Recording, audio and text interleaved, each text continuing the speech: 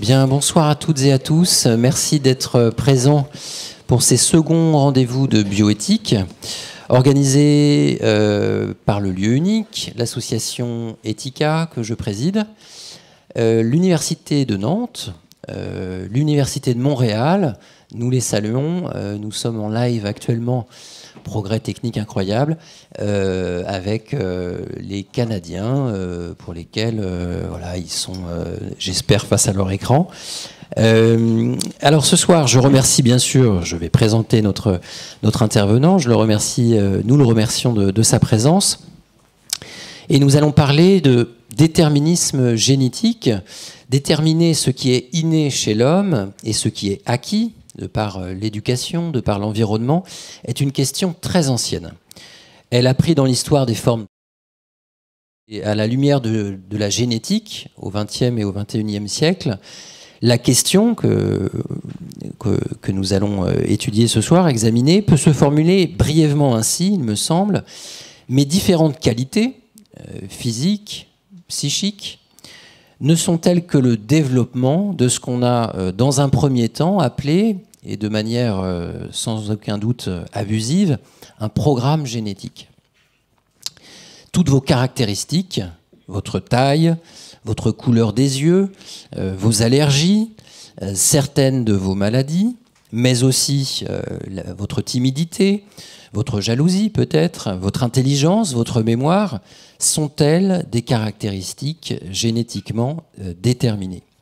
Quelle réponse apporte à ce débat euh, aujourd'hui, notamment en particulier l'épigénétique, c'est-à-dire l'étude des relations entre les gènes et l'environnement, ou ce qu'on appelle les facteurs épigénétiques? Alors Pierre-Antoine Gouraud, vous êtes généticien, et après avoir enseigné à l'université euh, à San Francisco, en Californie, pendant plusieurs années, vous êtes aujourd'hui professeur des universités, praticien hospitalier de la faculté de médecine de l'université de Nantes. Vous êtes un ancien élève de l'école normale supérieure de Lyon, euh, du département de biologie. Et vous avez aussi, et je le, souligne auprès de notre public, euh, étudié la philosophie, notamment la bioéthique, et même un philosophe euh, méconnu, trop, trop méconnu, qui est Alfred North Whitehead, sur lequel j'ai fait une thèse il y a quelques années. Voilà. donc merci encore à vous d'être parmi nous. Vous avez 40-45 minutes et puis après nous aurons le plaisir de débattre avec le public. Merci beaucoup. Alors je suis absolument ravi d'être euh, d'être avec vous et quand dans un élan de, générosité j'ai proposé ce titre euh, pour la session d'aujourd'hui, je me suis dit qu'il n'était pas inutile de commencer par un rappel. Alors on va le faire en, français mais de, cette, de ce fameux to be or not to be, that is the question. Euh, mais je vous avoue que j'ai jamais trop compris pourquoi. Alors je me suis dit, il faut toujours revenir au texte. Être ou ne pas être, telle est la question. Y a-t-il pour l'âme plus de noblesse à endurer les coups et les revers d'une injurieuse fortune, ou à s'armer contre elle pour mettre frein à une marée de douleur? Mourir, dormir, c'est tout. Alors je vous laisserai euh, continuer, mais je vous avoue que euh, c'est le truc qui, depuis euh, mon enfance, votre enfance peut-être, a été présenté comme le summum de la philosophie. Et to be or not to be. Mais moi, je vous avoue qu'il y a en fait que très récemment où je me dis mais oui, en fait, c'est pas idiot leur truc là. To be or not to be. Qu'est-ce que ça pose Ça pose la question de l'être. Euh, comment est-ce qu'on existe, comment se pose notre rapport au monde, euh, c'est une question que probablement on élude trop souvent. C'est probablement ce que j'ai fait euh, longtemps en disant bon ouais to be not to be c'est le truc des profs de philo quoi. pardon Guillaume. c'est le truc qu'on ressort tout le temps, tout le monde a l'air malin avec ça et très bien. donc voilà un bon exemple où on élude la profondeur peut-être de, cette question. À l'inverse, cette question de l'être, elle peut euh, devenir euh, obsédante. Euh, comment on existe, comment se pose notre rapport au monde, est-ce qu'on est suffisamment conscient? Est-ce que d'ailleurs c'est une question de degré? Ou est-ce que c'est un état? Est-ce que ça se joue dans une dynamique? Alors Alfred North Whitehead aura ses, propres, ses propres réponses dans la process philosophie. et dans cette notion d'héritabilité euh, génétique que je vais essayer de, rendre un peu moins euh, mystérieuse pour vous, euh, en deux temps. La génétique d'abord, puis l'héritabilité. On va, on va prendre les termes à l'inverse. Il y a peut-être justement un transfert qu'il faut dénoncer, où la génétique ou non répondrait à cette question du to be or not to be. Euh, ce qui va nous permettre de euh, replacer progressivement euh, la place peut-être de la science, et puis je vous proposerai quelques, quelques petits jeux. Alors, la génétique d'abord, en fait, j'aurais pas dû mettre la génétique. peut-être pour vous parler de trois génétiques différentes. La première, c'est peut-être la génétique qu'on qualifie de manière un peu méprisante de génétique grand public. Il y a un excellent livre que j'ai d'ailleurs amené, pas pour le vendre, mais pour, qui s'appelle La mystique de l'ADN, de, de Dorothée Nelkin, qui euh, euh, euh, reprend depuis la découverte de la structure moléculaire de, de l'ADN jusqu'à à une époque relativement récente, on, ça on pourrait le mettre à jour d'ailleurs, tous les poncifs que qu'on retrouve dans le domaine, ou les abus, les excès qu'on trouve dans le domaine commercial à propos de cette, de cette génétique. Euh, euh, à tel point que c'est passé dans le langage courant. Euh, on aurait pu dire, bah, moi j'ai la, génétique dans mes gènes, quelque chose comme ça, ou c'est mon ADN, ou la science est mon ADN. bon, ça, c'est pas du tout. Enfin, c'est une forme de génétique popularisée qu'on retrouve parfois plus ou bien, plus ou moins maltraitée dans, le, dans la presse grand public. Et je pense qu'il faut, faut pas la sous-estimer, parce qu'il y a d'autres valeurs que les valeurs scientifiques qui sont euh, qui traverse cette, cette, génétique. Et puis j'ai mis ici également une, photo euh, du, professeur, euh, du professeur Xavier dans les X-Men, toute la série, hein, X-Men Évolution, X-Men Révolution, tout ça. Et c'est aussi une manière qui a fait en sorte que la génétique a été popularisée. Mais elle est, popularisée d'une manière qui trahit un peu l'état des connaissances scientifiques et la vision moderne que euh, l'on a de ce qu'est la génétique dans le vivant, pas simplement chez l'être humain, mais dans le vivant de manière générale. Donc, euh, euh, on y fera peut-être référence un petit peu après tout à l'heure. La génétique avec un mutant qui est capable de pénétrer les pensées des autres, professeur Xavier là, ou tous les mutants qu'il a dans son académie, c'est c'est pas la génétique moderne, et ça a un premier défaut euh, c'est que ça réduirait la génétique à un gène, à un acteur. Ils sont, ils ont des, c'est des mutants. Il y a une mutation qui irait jusqu'à transformer leur existence. C'est ça que véhicule euh, la science-fiction. Vous avez compris que je suis un petit peu fan, euh, mais, mais peut-être pas pour s'en laisser, pas pour s'en laisser compter, et bien voir qu'il y a une autre forme de génétique. Euh, celle qui vous est probablement aussi familière, c'est la génétique euh, clinique, c'est la génétique qu'on dit euh, monogénique. C'est celle qui est mise en avant par l'AFM Téléthon avec tout ce magnifique effort de solidarité qui est dans le monde, aux États-Unis, en France également. et on a des maladies comme la mucoviscidose, où il y a effectivement un gène qui est en cause, qui est défaillant. On l'a identifié. En fait, il y a plusieurs types de mutations qui peuvent être, euh, qui peuvent être en cause.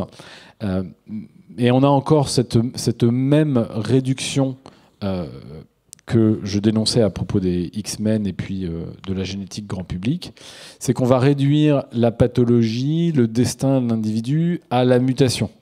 Et même si dans les faits c'est un peu plus complexe que ça, parce qu'il y a plusieurs mutations, parce qu'elles ont plein d'effets différents et pas seulement celui initial qu'on a découvert, la médecine en elle-même porte en son sein, parce qu'il y a cette exigence de guérir, euh, une forme de réductionnisme qui est celui du réductionnisme de l'action. Il faut guérir le patient. Pour guérir, on pourrait corriger un gène à un moment donné. Et effectivement, c'est cette vision de la génétique clinique qui explique, qui peut éventuellement euh, traiter avec les thérapies génétiques, qui, n'est pas fausse, hein, qui est effectivement mise en avant dans la génétique clinique, mais qui est vraiment que la partie émergée de l'iceberg.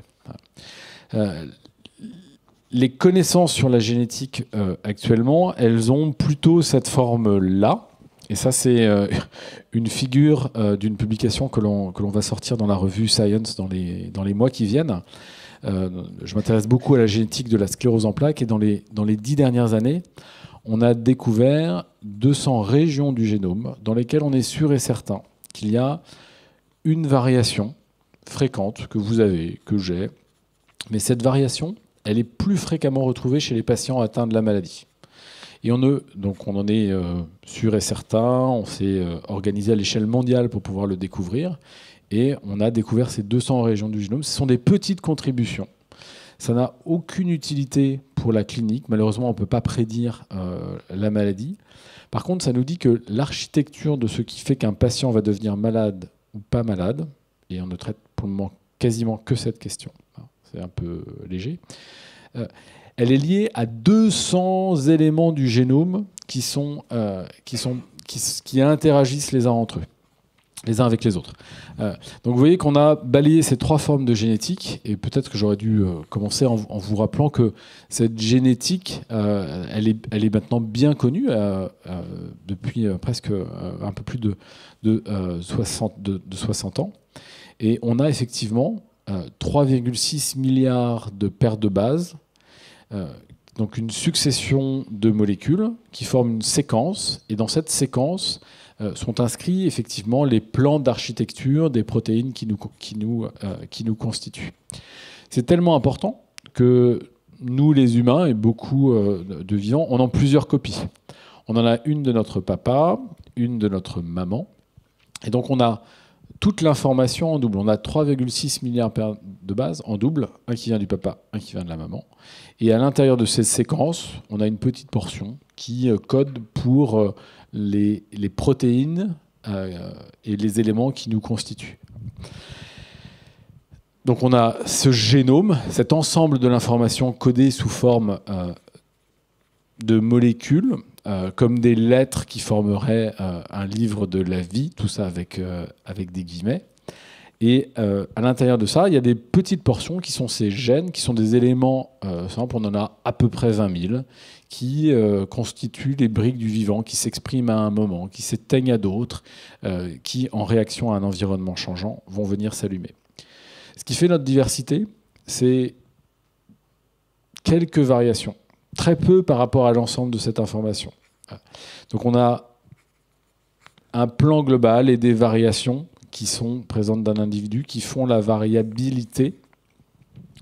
Et dans cette variabilité, en fait, se joue d'un individu à l'autre euh, plus ou moins de risque d'avoir des maladies. Et c'est le cas ici dans la sclérose en plaques. Donc vous voyez qu'on s'est éloigné progressivement d'une vision où un seul gène pourrait être euh, pris comme euh, une définition de ce que l'individu va devenir.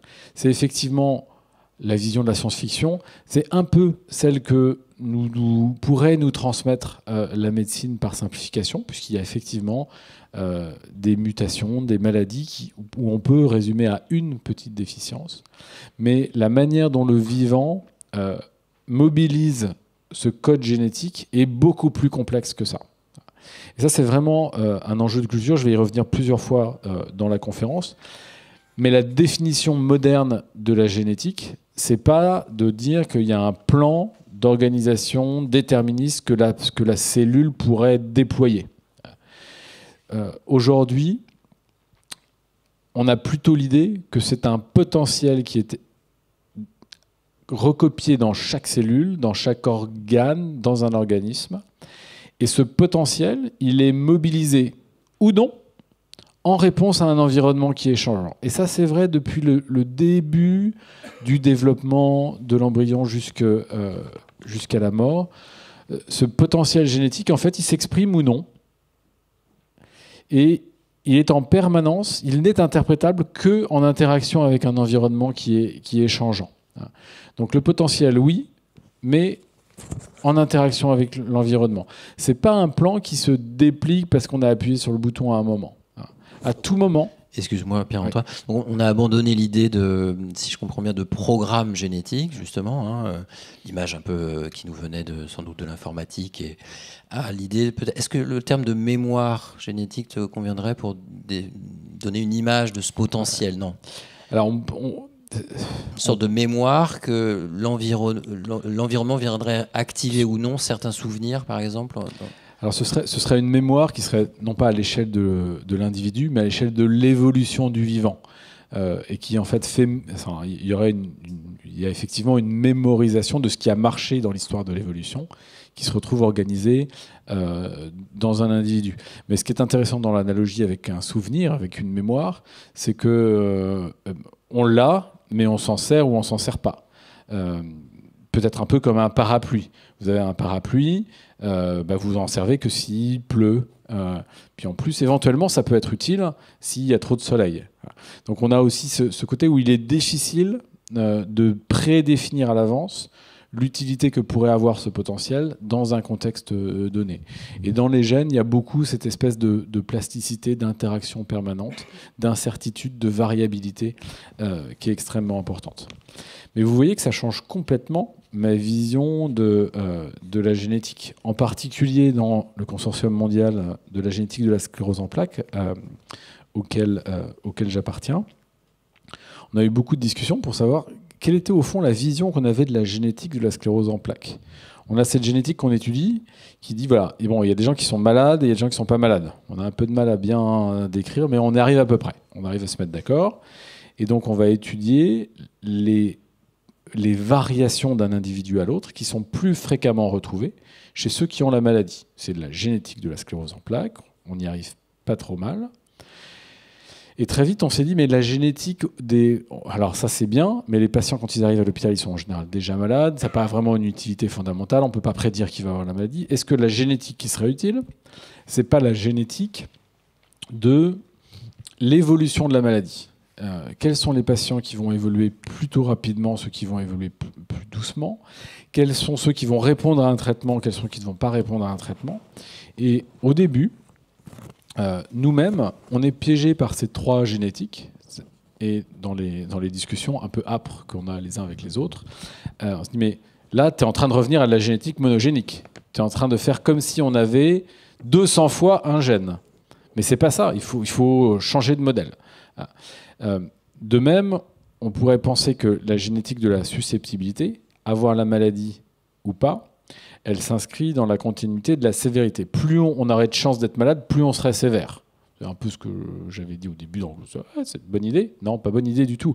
Si ma définition, c'est un potentiel en réaction à un environnement, alors je n'ai pas du tout la même vision. Je veux dire, mais en fait, il y a une génétique qui s'exprime et qui va faire malade, pas malade, par rapport à un environnement que peut-être on partage les uns les autres. Mais une fois qu'on est malade, l'environnement immunologique, il est complètement différent. Hein, les patients qui ont euh, de l'inflammation, la sclérose en plaques fait partie de ces maladies où le système immunitaire se retourne contre l'individu. Euh, et donc on a l'état intérieur, extérieur qui change complètement. Donc ce serait, en fait, on a plutôt tous les arguments pour penser que ce n'est pas la même génétique puisque c'est plus le même environnement intérieur ou extérieur. Et du coup, j'ai complètement changé de, modèle, de manière de penser la génétique de, la maladie. Donc ces, conceptions, ces préconceptions, ce qui nous influence quand on réfléchit euh, à des problématiques, y compris très scientifiques, sont extrêmement importants. Hein, parce qu'il faut un peu débusquer ce qui se joue bien au-delà euh, des concepts de, de la génétique.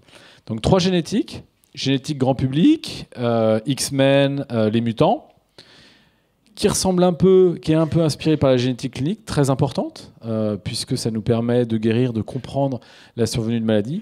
Mais ça n'est qu'une toute petite portion de la génétique, celle qui est complexe, où plusieurs gènes interagissent les uns avec les autres.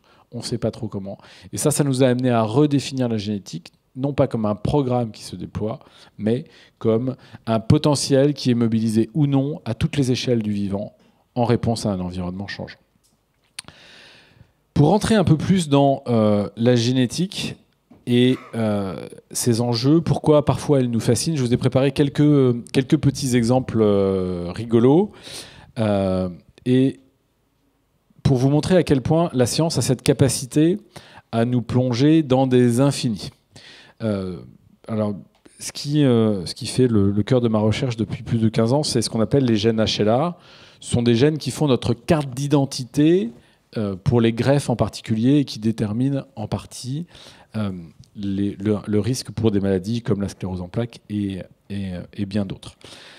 donc, puisque ce sont des gènes qui sont importants dans la greffe, ils ont été beaucoup étudiés et on connaît énormément de versions, de différences d'un individu à l'autre. Alors, j'ai volontairement laissé euh, le jargon un peu compliqué, mais on a cinq grands gènes A, B et C, TRB1, DQB1. Et ces gènes sont présents dans les populations euh, en énormément de versions. Hein. Plusieurs milliers d'allèles, de variants d'un individu à un autre. Certains sont très fréquents, d'autres euh, ne, ne, le sont pas. Et ce que je voudrais qu'on fasse ensemble, c'est un petit calcul. le calcul, c'est important, ça nous, projette dans des ordres de grandeur pour calculer ensemble toute la diversité que l'on peut fabriquer à partir de ce que l'on connaît. Donc on a 3000 versions du gène HLA-A. Euh, on en a certainement euh, beaucoup, enfin elles sont toutes probablement dans la salle. Et la question que je vais vous poser, on va faire un peu de, statistiques ou de, de probabilité combinatoire, c'est combien on va pouvoir former d'individus différents avec 2946, on va dire 3000, on va arrondir. Euh, combien on peut former d'individus différents avec 3000 allèles HLA Bon, bah, c'est pas très compliqué.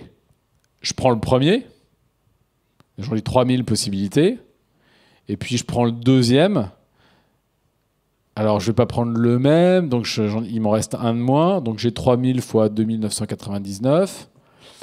Bon, mais donc celui donc j'ai pris le premier puis j'en prends un différent donc j'en ai un de moins et puis je vais diviser par deux parce que je peux avoir pris l'un en premier puis l'autre en deuxième.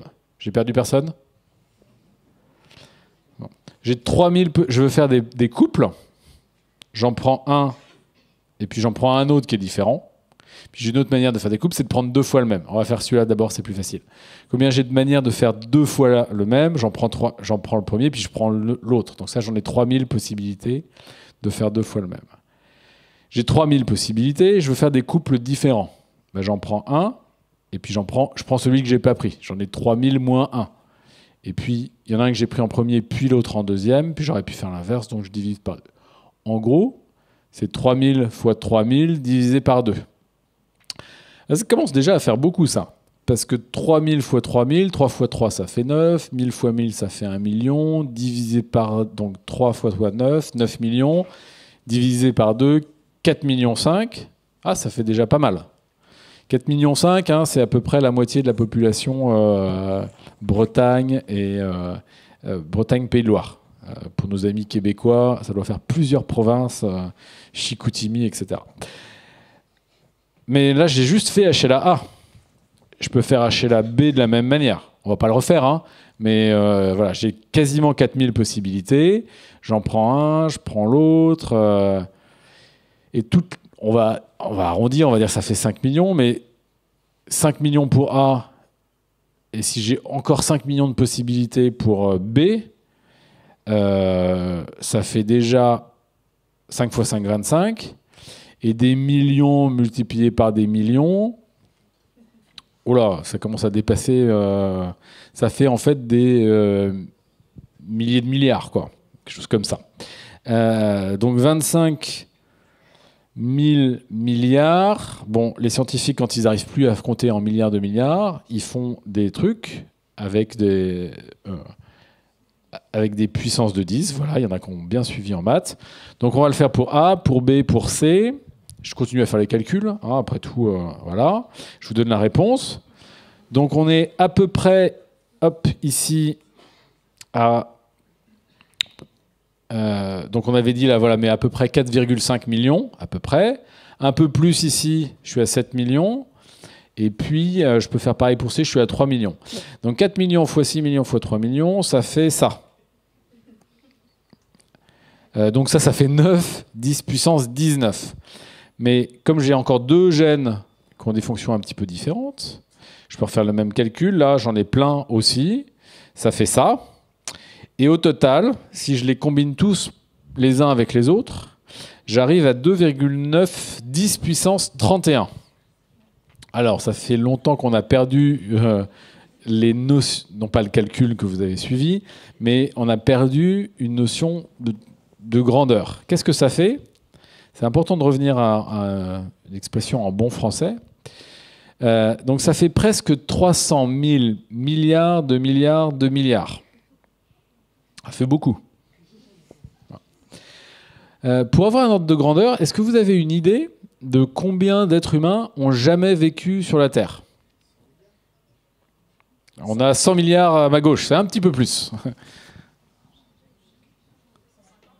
Ah, c'est un petit peu moins de 150 milliards. Ah. On pense que c'est à peu près 120 milliards. Vous allez me dire, on n'est plus à un milliard près. Hein. Euh, donc ça veut dire que depuis l'histoire, le début de l'histoire de l'humanité, Homo sapiens, nous, on est à peu près 10-12 euh, milliards. Euh, le nombre total d'êtres humains portés par la Terre, c'est en gros 100 milliards. Je veux bien qu'on agrandisse à 150 si vous voulez pour être sûr. Mais là, là, avec ce que je connais déjà, avec la diversité génétique que je connais déjà, on pourrait, par combinaison entre ces gènes, faire plus de 300 000 milliards de milliards de milliards de profils différents. vous voyez que ce calcul génétique, vraiment réel, plausible, euh, il nous emmène dans, des infinis de la diversité euh, que peut produire le vivant. On a fait un peu de génétique et on a fait un peu de mathématiques. En fait, on a fait une modélisation où on a considéré que chaque allèle pouvait se combiner avec n'importe lequel, que n'importe qui pouvait faire des enfants avec n'importe qui, pour euh, dire autrement. Euh, et ça, ça, ça, doit nous interroger sur la place des modèles que l'on utilise en science. Donc, c'est très utile, c'est probablement faux, puisque en fait, euh, ça dépasse les possibilités. Peut-être que toutes les combinaisons ne sont pas viables ou ne sont pas possibles dans le vivant. Effectivement, c'est le cas. Mais en tout cas, ça nous montre qu'à chaque fois qu'on a un modèle mathématique qui nous aide à prendre conscience des, euh, des ordres de grandeur, et c'est le cas ici pour cet exemple de génétique, hein, j'ai utilisé que 5 gènes parmi les, les 20 000 qu'on a cités tout à l'heure, eh bien, euh, on doit s'interroger sur la validité ou non des résultats que ça produit. Le calcul est ici, il a un modèle, il a, il a, des, possibilités. et donc ça, ça nous montre à quel point la génétique a ce pouvoir de nous fasciner, de, nous plonger dans la diversité qui est possible de créer à partir de toutes ces combinaisons. Et cela va bien au-delà du nombre d'individus que la Terre euh, n'a jamais porté. Sans compter, Pierre-Antoine, je, t'interromps, juste euh, parce que là, ça pourrait accréditer l'idée que la diversité euh, entre chacun d'entre nous, là, elle est liée à une diversité des combinaisons, je vais vite, mais génétiques possibles. Euh, si on prend des vrais jumeaux, par exemple, qui sont identiques sur le plan génétique, euh, ils sont pour autant, ils peuvent être en tout cas extrêmement euh, différents dans leurs caractéristiques psychiques, voire même physiques. D'ailleurs, ils ont quand même, ils, vont, ils peuvent développer des, des, caractéristiques différentes. Donc, malgré tous ces calculs, finalement, il y a aussi la réponse de comment dire, des facteurs environnementaux, d'autres facteurs épigénétiques, qui en plus augmentent encore la diversité entre les individus. Alors, si vous étiez tenté euh, de vous rassurer ou de vous définir par cette combinaison de gènes, qui est unique, euh, effectivement, il y a bien plus que euh, cette combinaison de gènes. En plus, on n'en a regardé que 5. Donc, et les gènes ne suffisent pas. Et donc, c'est tout l'enjeu que de ne pas succomber à cette tentation de vouloir définir par la génétique ce que serait l'unicité. Alors on a la chance dans le vivant d'avoir effectivement des gens qui partagent rigoureusement le même patrimoine génétique, des vrais jumeaux, des jumeaux qui sont issus euh, du même embryon qui euh, s'est séparé, qui a réussi à se développer l'un et l'autre euh, malgré tout. Ils ont les mêmes gènes et pourtant l'environnement dans lequel ils se trouvent va effectivement euh, impacter le développement euh, de leur psychologie, etc. On pourrait même imaginer que deux jumeaux ayant euh, placés dans des environnements très différents, parce que le problème c'est que souvent ils partagent aussi beaucoup le même, le même environnement, eh bien, vont se développer potentiellement extrêmement différemment. Certains pourraient être exposés à un virus, à une infection, et pas l'autre. Eh bien, forcément, ils vont pas, leur mémoire immunologique ne va pas se constituer de la même manière. Je vous ai préparé un autre petit exemple, euh, qui est un projet qu'on a euh, développé euh, très récemment à Nantes, qui parle d'Avatar. Alors, vous voyez là encore, on ne peut pas se débarrasser de la référence à la science-fiction, au film Avatar, premier film réalisé en, 3D Max, je sais pas quoi là. et donc il y a un très gros enjeu qu'on va voir de plus en plus manifeste dans les années à venir, c'est des transactions de données, des partages de données. Alors on fait beaucoup ça en science, on partage des données entre les différents groupes, ne serait-ce que pour montrer que les uns et les autres, on, analyserait les données de, euh, la même manière. Euh, simplement, ce qui prime sur cette volonté de partager les données, c'est de respecter la personne qui est à l'origine de ces données. Euh, donc on demande à un participant à une recherche l'autorisation de faire cette recherche. Euh, on lui demande aussi l'autorisation euh, de, partager, euh, de partager les données. Mais malgré tout, ces données, elles restent extrêmement sensibles.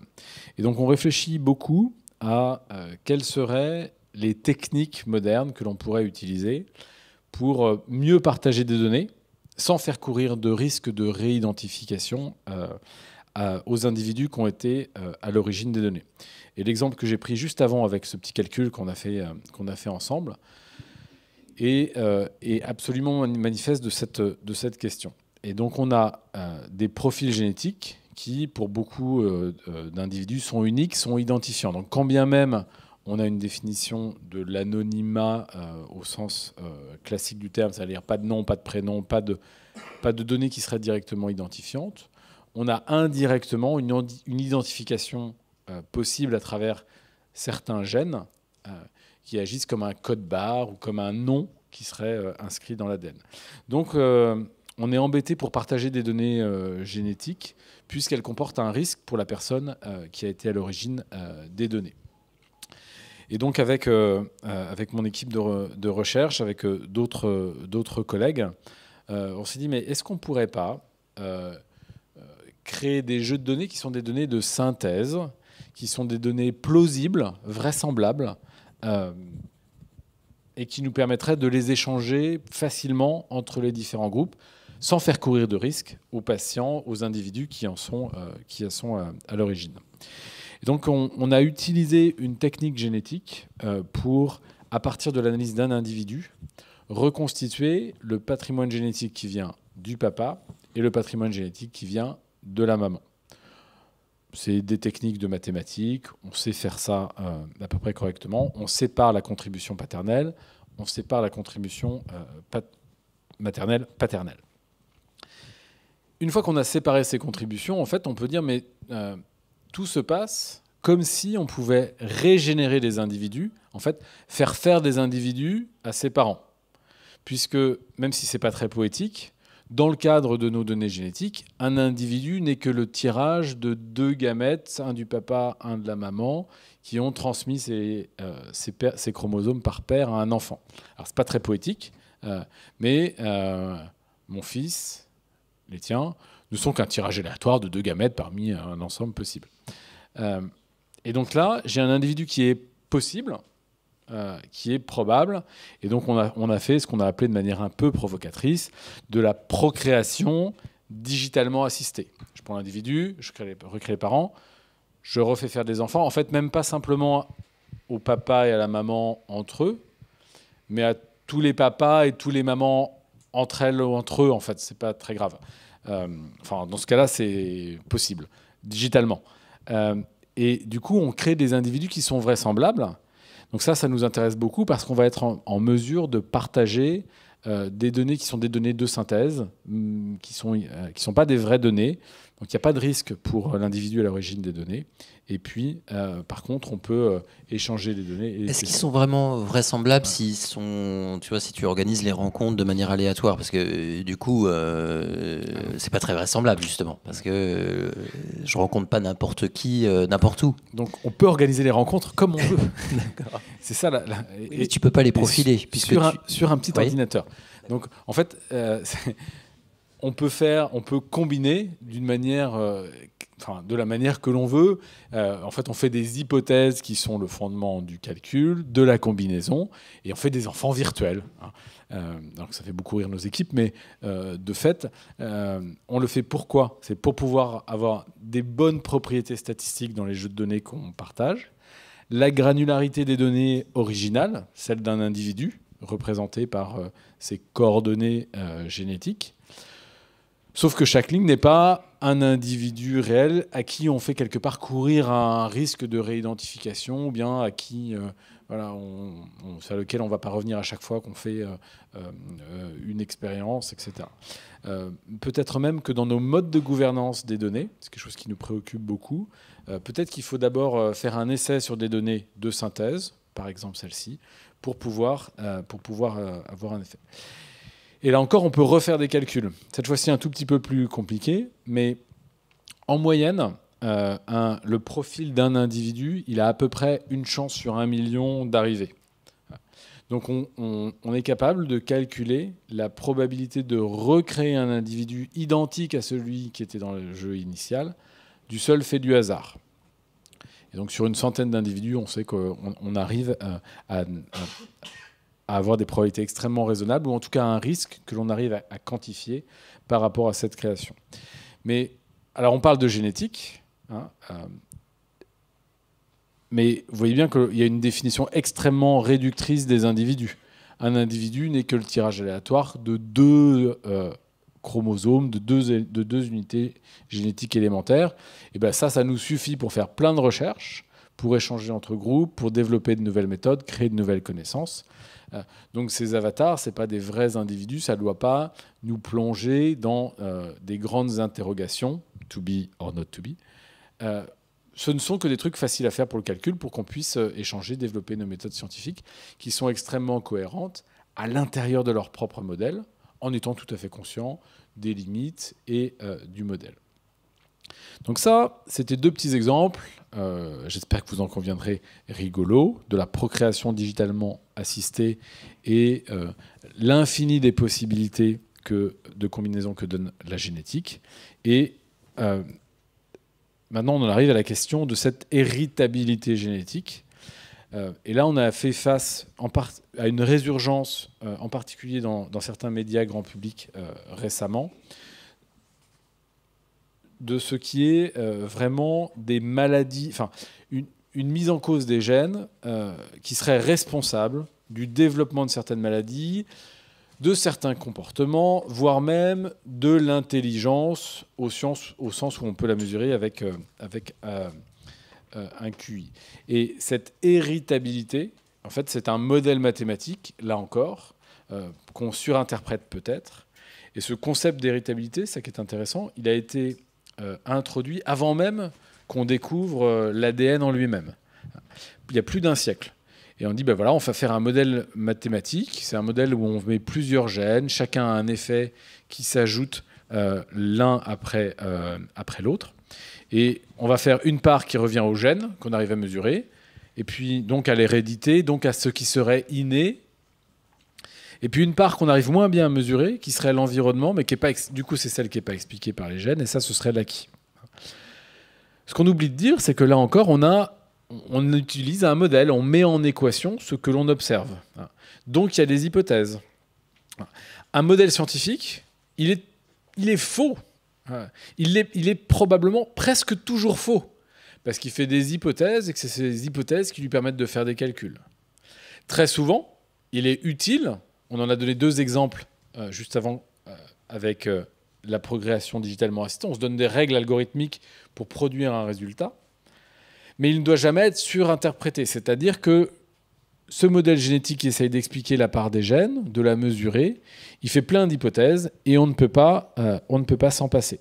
Et ça, c'est vraiment ce que l'on a dénoncé dans une tribune qui nous a permis en fait de, proposer ce sujet sur l'héritabilité génétique en faisant en sorte qu'un certain nombre de généticiens, notamment français, ont dit mais euh, en fait, là, c'est des fake news, euh, c'est faux. Il y a une manière de mobiliser la génétique et ce concept d'héritabilité euh, qui ne correspond d'abord pas à la conception moderne de la génétique et qui ensuite oublie les hypothèses qui sont faites dans le modèle mathématique qui essaye de faire la part des choses entre le gène qu'on sait mesurer et l'environnement. On n'explique pas euh. Tu, fais référence sans, le, nommer, euh, je pense, entre autres, hein, il n'est pas le seul, mais euh, à Alexandre Lacroix et à certains de ses propos et de certaines de ses tribunes. Euh, une dernière tribune, je ne sais pas si vous l'avez lu, sur euh, d'Alexandre Lacroix, euh, disant qu'il fallait favoriser les, les, couples de haut niveau d'études et les femmes qui ont fait des études supérieures afin qu'elles aient des, enfants parce que génétiquement elles allaient transmettre, etc. C'est à, cela que tu fais référence dans les fake news ou? Voilà, bah, ça, fait tout à fait partie des, des fake news et Laurent Alexandre, pour ne pas le nommer, euh, a effectivement, dans, plusieurs médias grand public, mobilisé les concepts de génétique pour euh, prendre des positions qui sont plutôt de l'ordre euh, politique et on peut voir un parallèle, en tout cas moi-même, puisque je fais partie des signataires de cette tribune, et, beaucoup d'autres généticiens français ont été frappés par le symétrique qu'il y avait entre ces positions actuelles et euh, les positions que l'on tenait à la fin du 19e dans des milieux eugénistes, où peut-être de bonne foi, euh, on s'inquiétait sur euh, la, baisse du patrimoine génétique d'une population à cause des progrès euh, de la médecine, c'est euh, à peu près la même mécanique qui est utilisée dans la, diminution du QI si les femmes qui ont fait des études n'ont pas eu le temps de faire des enfants. voilà. Ben, c'est juste faux scientifiquement, c'est pas une, c'est une conception beaucoup trop déterministe de la génétique, et ça n'est pas la conception moderne de la génétique que j'ai à laquelle je vous ai euh, sensibilisé. Euh, on peut avoir un débat sur une position politique ou sociologique. En tout cas, il ne faut pas faire dire à la génétique et au modèle mathématique ce qu'ils ne, ce qu'ils ne disent pas. Et donc, que ce soit dans cette tribune du mois, du mois d'avril dernier, dans Le Monde, ou bien sur des médias comme sur les réseaux sociaux, sur Facebook ou sur euh, Monkey TV, on est amené, et je crois que c'est heureux, ça fait partie de notre rôle d'enseignant-chercheur dans la société, euh, euh, à rectifier le tir, en tout cas à attester que cela ne correspond pas à l'état des connaissances actuelles dans le domaine scientifique. ce qui me marque plus particulièrement dans cette question, en fait, c'est la mécompréhension de ce que fondamentalement est un modèle utilisé dans la science. Qu'est-ce qu'un modèle euh, scientifique? Eh Bien, j'ai euh, voulais partager avec vous euh, un extrait du cours que je donne dans l'amphithéâtre des premières années de médecine et des études communes en santé. J'ai le bonheur de leur enseigner la biologie cellulaire et la vision globale du vivant. Et à un moment du cours, je leur dis la chose suivante. En sciences du vivant, nos modèles ne sont que des expédients des choix de représentation, parfois dictés par la technique, qui consiste à recouvrir d'un voile pudique la complexité des phénomènes biologiques que l'on ne maîtrise pas, pour n'en retenir que certains aspects observables. Et parfois, ces aspects sont soignables. Autrement dit, il ne faut pas confondre le modèle avec l'objet de la recherche. Et ce modèle, il est extrêmement pratique, il nous permet même de soigner, de comprendre, de créer des connaissances, de les mettre en cause. Mais peut-être qu'il ne touche pas euh, à la complexité qu'on n'arrive pas à gérer par ailleurs ou qu'on n'arrive peut-être pas encore à gérer. Et donc ça, euh, c'est quelque chose d'extrêmement euh, important qui revient régulièrement dans l'histoire des sciences à tel point que, spécialement pour ce soir, j'ai ressorti une citation en latin cher Guillaume, euh, qui est en fait pris dans la préface de l'ouvrage de Nicolas Copernic sur euh, le mouvement euh, des objets célestes. Et son élève Andreas Osiander, peut-être encore plus malin que, son maître, dit la chose suivante De hypothesibus ego sic sensi semper. à propos, je vais traduire pour ceux qui parlent pas latin. à propos des hypothèses, j'ai toujours pensé la chose suivante. Donc on parle des hypothèses du modèle. Ce ne sont pas des articles de foi, autrement dit, on n'y entre pas comme on entre en religion. Ce n'est pas un dogme auquel il faudrait euh, adhérer sans le remettre en compte. Euh, mais cette fundamenta euh, calculi itaut, mais ce sont des fondements du calcul, etiam falsae sint, quand bien même seraient-elles fausses, ces fondements, ces hypothèses, cela ne changerait rien à leur capacité à rendre compte des phénomènes. Modomotuin, euh, phenomena exacta exhibitant, nil referat. Donc ça veut dire que le but du jeu de nos modèles en science, c'est de rendre compte de ce qu'on observe. Parce qu'on observe, ça dépend de la lunette qu'on utilise, qu'on a un gros microscope ou un petit microscope. Ce sont ce qui apparaît à notre expérience, que nos modèles mathématiques, ils nous aident, ou nos modèles tout court, ils nous aident à les comprendre, peut-être à les mettre en équation. Bon, qu'ils soient vrais ou qu'ils soient pas vrais, euh, en fait, on n'en sait rien. Et euh, euh, toute l'histoire de la science, en physique et en biologie, qui sont quand même beaucoup plus jeunes, sont traversées par peut-être cette confusion ou ce jeu d'adhésion au modèle. Ils sont nouveaux, ils sont pratiques, ils nous permettent de, de créer de nouvelles connaissances, mais ils sont probablement faux. Donc tous les modèles sont faux, mais certains, certains sont utiles. Et donc en guise d'ouverture, et peut-être pour résumer ce propos, euh, on a en fait, euh, dans cette tentation génétique, on a la tentation à laquelle a succombé Laurent Alexandre, de faire dire à la génétique ce qu'elle ne dit pas, ou d'aller au-delà de ce que les hypothèses du modèle nous permettent de dire, parce que finalement ce modèle est quand même très utile. Donc c'est une utilisation abusive, erronée du concept d'héritabilité génétique, parce qu'on voit tous en vie, c'est pour ça que c'est une tentation, d'utiliser euh, la génétique pour dire bah, qui suis-je? Ah bah, La combinaison de mes gènes. Hein. Je suis une combinaison unique de gènes. Ça répond à la question qui suis-je? Que vais-je transmettre à mes enfants? Ah bah, Mes gènes. Hein. Euh, donc ça répond à une question euh, effectivement existentielle. Et que va-t-il m'arriver? Ah bah si c'est inscrit dans mes gènes, eh bien ça réduit en fait une interrogation que j'ai par rapport à mon futur. Donc les gènes sont bien pratiques, mais ce n'est pas ce que dit la génétique. Donc il y a cette tentation permanente de réduire ce que nous sommes, ce que nous serons, d'où nous venons, à nos gènes, alors que les gènes, en fait, ils n'ont pas grand-chose à dire sur euh, euh, notre, euh, notre existence, ou en tout cas, ils ne répondent pas à ces questions traditionnellement ancrées dans le champ de la philosophie ça doit nous interroger beaucoup plus largement sur notre rapport à la connaissance et à tous ces outils techniques qui semblent aller de plus en plus vite, aller de plus en plus loin, des euh, ordinateurs de plus en plus euh, puissants.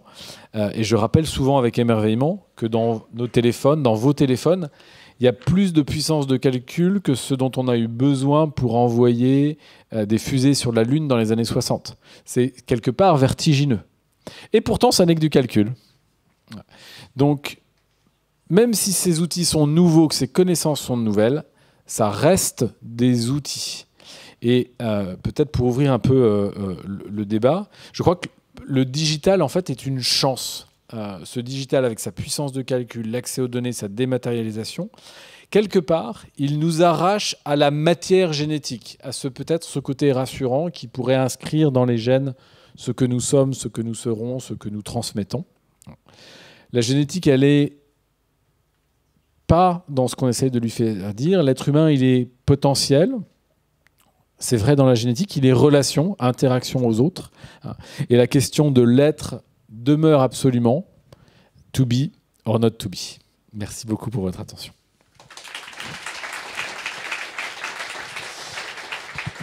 Merci Pierre-Antoine Gouraud. Alors vous allez avoir un, micro, voilà, un micro qui va passer dans la salle. Juste avant de, vous donner la parole, une, une question, euh, parce que tu finis sur l'idée, les gènes n'ont pas grand-chose euh, à dire. Je suis étonné qu'un généticien euh, disent cela, finalement, ne répondent pas à nos questions philosophiques. Alors, je vais jouer un petit peu la carte quand même du, déterministe, puisque tu as euh, quand même, quand on regarde euh, certaines études scientifiques, euh, j'ai lu récemment, par exemple, je vous recommande l'ouvrage de Nicolas Gauvry sur les sur les, les enfants dits précoces. il fait référence à des études scientifiques, sur, notamment sur la timidité ou encore sur la mémoire, et qui montre une sorte, un déterminisme génétique euh, qu'on arrive disent ces études tout de même à, cibler, à, repérer hein, dans le génome, et qui vont euh, déterminer certaines caractéristiques, y compris psychiques.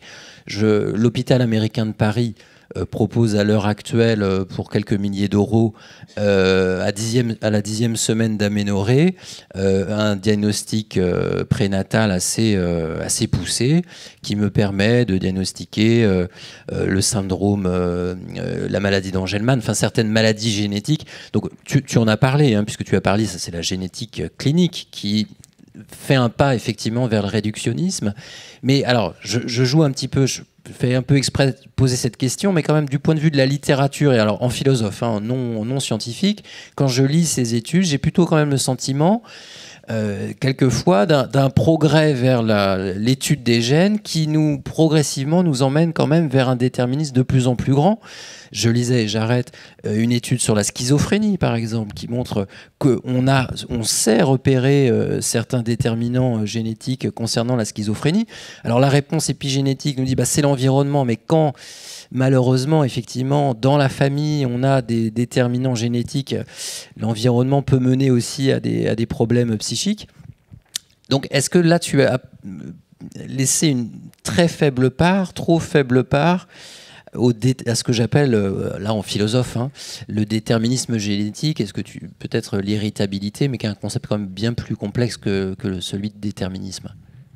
Ce qu'on dénonce, et je voudrais être très clair, c'est cet aller-retour que tu as fait nécessairement, qu'on fait parfois nous-mêmes, entre une génétique monogénique et une génétique polygénique. Hein. C'est ce, cet, aller-retour qu'on a fait entre, oui c'est vrai, il y a des mutations, des un gènes qui euh, ont un déterminisme fort, pas toujours intégral, pas toujours avec un effet homogène, et ça on le sait aussi dans cette génétique en apparence euh, simple.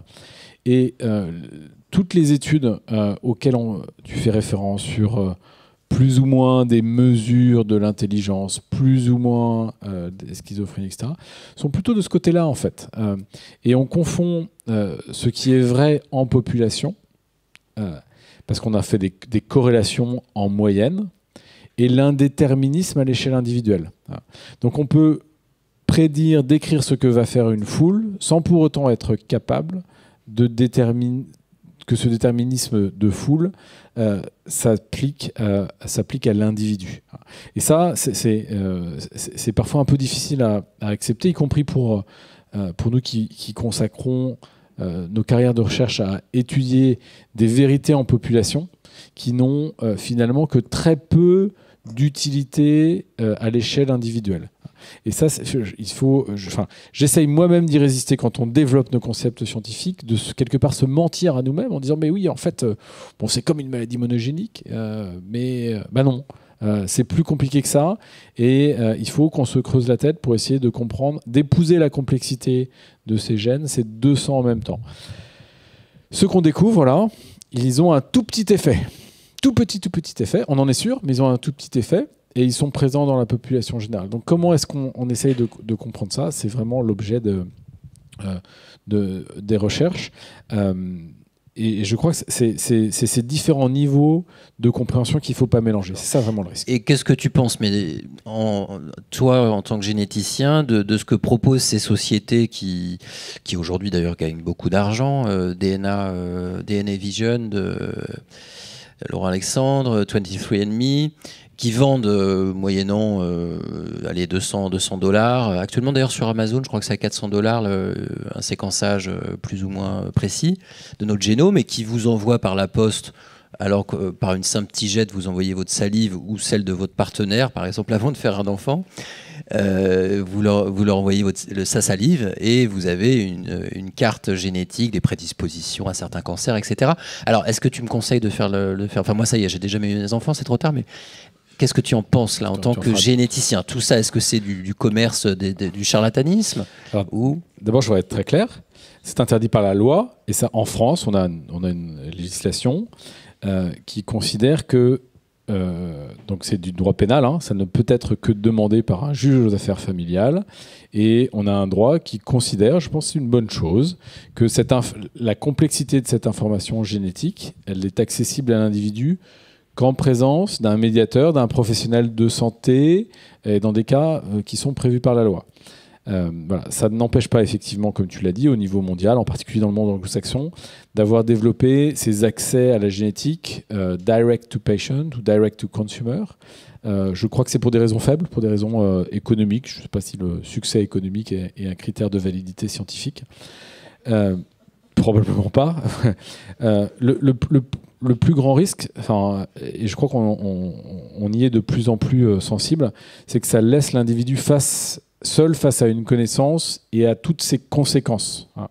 Euh, d'ailleurs, dans, les, dans X-Men, puis je vais arrêter d'en parler, mais euh, la découverte des mutations a beaucoup de conséquences, y compris sur ces mutants et, les pouvoirs que ça leur donne. Euh, bah, pour nous, c'est un petit peu pareil. Et cette génétique, en fait, souvent, ces leviers sont une espèce de génétique qu'on appellerait récréationnelle. Euh, bah, on joue à se faire un petit peu peur.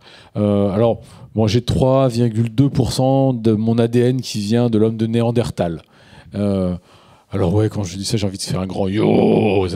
Mais